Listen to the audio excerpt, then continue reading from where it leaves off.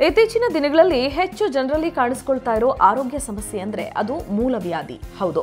ಹೇಳ್ಕೊಳ್ಳೋದಕ್ಕೆ ಮುಜುಗರ ಪಡುವ ಈ ಕಾಯಿಲೆಯ ಹಿಂಸೆ ಅನುಭವಿಸಿದವ್ರಿಗೆ ಮಾತ್ರನೇ ಗೊತ್ತು.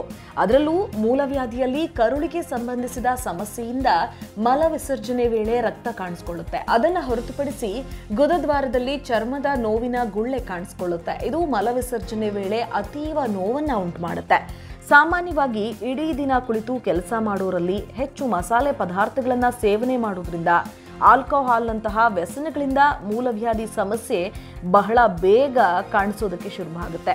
ಇನ್ನು ಮೂಲವ್ಯಾಧಿಯ ನಿಯಂತ್ರಣವನ್ನ ಆಹಾರದಿಂದಲೇ ಮಾಡಬಹುದು. ಹೌದು, ಮೂಲವ್ಯಾಧಿಗೆ ಯಾವ ಆಹಾರವನ್ನು ಸೇವಿಸಬೇಕು, ಯಾವ ಆಹಾರವನ್ನು ಸೇವಿಸಬಾರದು ಅನ್ನೋ ಬಗ್ಗೆ ಆಯುರ್ವೇದ ಪದ್ಧತಿಯಲ್ಲಿ ಒಂದಷ್ಟು ಕ್ರಮಗಳಿದೆ. ಇನ್ನು ಇದರಲ್ಲಿ ರಾಗಿ ಮತ್ತು ಗೋಧಿಯ ಆಹಾರ ಬೆಸ್ಟ್ ಅಂತ ಹೇಳಲಾಗುತ್ತೆ. ಹೌದು, ಮೂಲವ್ಯಾಧಿಯ ವೇಳೆ ಕರುಳಿನ ಆರೋಗ್ಯ ಹದಗೆಟ್ಟಿರುತ್ತೆ. ಹೀಗಾಗಿ ಹೊಟ್ಟೆಯನ್ನ ತಂಪುಗೊಳಿಸೋದಕ್ಕೆ ಮತ್ತು ಮಲ ವಿಸರ್ಜನೆ ವೇಳೆ ಕಷ್ಟವಾಗಬಾರದು ಅಂದ್ರೆ ರಾಗಿ ಮತ್ತು ಗೋಧಿಯನ್ನ ಬಳಕೆ ಮಾಡಬೇಕು. ದಿನಕ್ಕೆ ಎರಡು ಬಾರಿ ರಾಗಿ ಅಥವಾ ಗೋಧಿಯ ಬಳಕೆ ಅಂದ್ರೆ ರಾಗಿ ಮುದ್ದೆ ಅಥವಾ ರಾಗಿ ರೊಟ್ಟಿ, ರಾಗಿ ಗಂಜಿಯನ್ನ ತಿನ್ನೋದ್ರಿಂದಲೂ ಕೂಡ ಮಲಬದ್ಧತೆ ಸಮಸ್ಯೆಯಿಂದ ಹೊರಬರಬಹುದು. ಇನ್ನು ಬಾಳೆಹಣ್ಣು ಮಲಬದ್ಧತೆಯನ್ನು ಸರಿದೂಗಿಸೋ ಉತ್ತಮ ಆಹಾರದ ಮೂಲ. ಹೀಗಾಗಿ ಬಾಳೆಹಣ್ಣಿನ ಸೇವನೆ ಬಹಳನೇ ಒಳ್ಳೆಯದು. ಬಾಳೆಹಣ್ಣಿನಲ್ಲಿರೋ ಫೈಬರ್ ಅಂಶ ಜೀರ್ಣಶಕ್ತಿಯನ್ನ ಉತ್ತಮಗೊಳಿಸಿ ಕರುಳನ್ನ ತಂಪಾಗಿಡುತ್ತೆ. ಇದರಿಂದ ಮಲಬದ್ಧತೆ ಇಲ್ಲದಂತಾಗುತ್ತೆ. ಹೀಗಾಗಿ ಮೂಲವ್ಯಾಧಿ ಸಮಸ್ಯೆ ಇರೋರು ಅತ್ಯವಶ್ಯಕವಾಗಿ ಬಾಳೆಹಣ್ಣುಗಳನ್ನ ಸೇವಿಸ್ತಾ ಬನ್ನಿ. ಪ್ರತಿದಿನ ಊಟದ ನಂತರ ಬಾಳೆಹಣ್ಣನ್ನ ಸೇವಿಸೋದ್ರಿಂದ, ಪ್ರತಿದಿನ ಊಟದ ಬಳಿಕ ಬಾಳೆಹಣ್ಣನ್ನ ಸೇವಿಸೋದ್ರಿಂದ ಜೀರ್ಣಕ್ರಿಯೆ ತುಂಬಾ ಚೆನ್ನಾಗಿ ಆಗುತ್ತೆ. ಇನ್ನು ಚುಕ್ಕಿ ಬಾಳೆಹಣ್ಣು ನಿಮ್ಮ ಆಯ್ಕೆಯ ಮೊದಲ ಸ್ಥಾನದಲ್ಲಿದ್ರೆ ಉತ್ತಮ.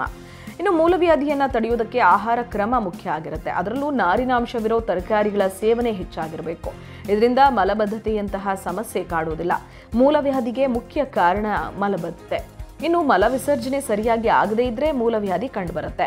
ಸೊ ಹೀಗಾಗಿ ತರಕಾರಿಯಲ್ಲಿ ಹೆಚ್ಚು ನಾರಿನ ಅಂಶ ಇರುವಂತಹ ಸೊಪ್ಪು, ತರಕಾರಿ, ಹಣ್ಣುಗಳ ಸೇವನೆ ಆದಷ್ಟು ಹೆಚ್ಚಾಗಿರಲಿ. ಇನ್ನು ನೀರು ದೇಹದಲ್ಲಿನ ಎಲ್ಲ ಕಲ್ಮಶಗಳನ್ನು ಹೊರಹಾಕೋದಕ್ಕೆ ಸಹಾಯಕ. ಅಲ್ಲದೆ ಕರುಳನ್ನ ಬಿಸಿಯಾಗದಂತೆ ತಡೆಯುತ್ತೆ. ಹೀಗಾಗಿ ಮೂಲವ್ಯಾಧಿ ಸಮಸ್ಯೆ ಇರೋರು ಹೆಚ್ಚೆಚ್ಚು ನೀರನ್ನ ಸೇವಿಸಿ ಒಂದೇ ಕಡೆ ಹೆಚ್ಚು ಹೊತ್ತು ಕುಳಿತುಕೊಳ್ಬೇಡಿ. ಇದರಿಂದಲೂ ಕೂಡ ಮೂಲವ್ಯಾಧಿ ಸಮಸ್ಯೆ ಹೆಚ್ಚಾಗಬಹುದು. ಒಟ್ಟಿನಲ್ಲಿ ಆದಷ್ಟು ನಿಮ್ಮ ಬಾಡಿಯನ್ನ ತಂಪಾಗಿಡುವಂತಹ ನಿಟ್ಟಿನಲ್ಲಿ ನೋಡ್ಕೊಳ್ಬೇಕಾಗತ್ತೆ. ಇಂತಹ ಇನ್ನಷ್ಟು ಹೆಲ್ತ್ ಟಿಪ್ಸ್ಗಾಗಿ ನಮ್ಮ ಪೇಜನ್ನು ಫಾಲೋ ಮಾಡಿ, ಲೈಕ್ ಮಾಡಿ, ಶೇರ್ ಮಾಡಿ, ಜೊತೆಗೆ ಸಬ್ಸ್ಕ್ರೈಬ್ ಮಾಡ್ಕೊಳ್ಳೋದನ್ನು ಕೂಡ ಮರಿಬೇಡಿ.